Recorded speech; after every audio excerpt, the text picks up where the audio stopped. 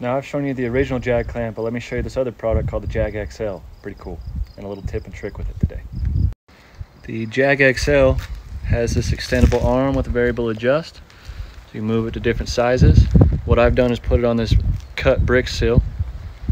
I can pull a string line all the way across there and run these across the wall.